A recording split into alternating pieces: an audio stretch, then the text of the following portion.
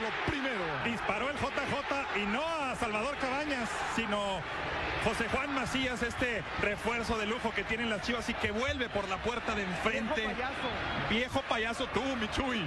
Hablábamos también de Vega que se puso nervioso después de ese potente disparo. A lo Vega, diría yo, que plantel tiene.